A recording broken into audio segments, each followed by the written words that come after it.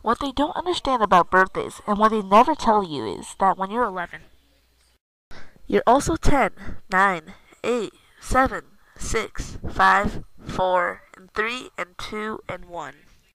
When you wake up on your 11th birthday, you expect to feel 11, but you don't. You feel like you're still 10, and you are, underneath the year that makes you 11.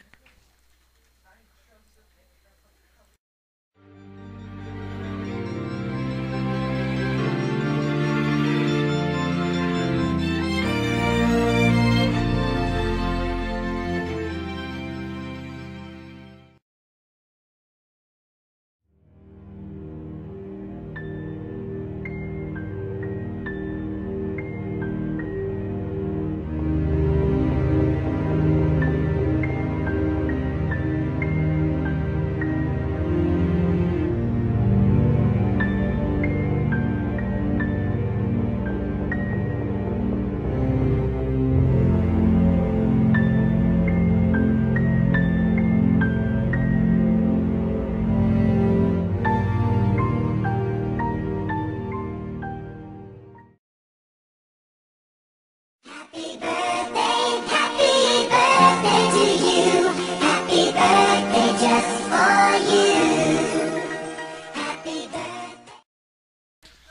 11 today. I'm 11, 10, 9, 8, 7, 6, 5, 4, 3, 2, and 1.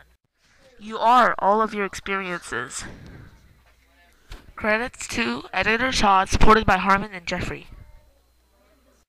Status update. Birthdays are horrible.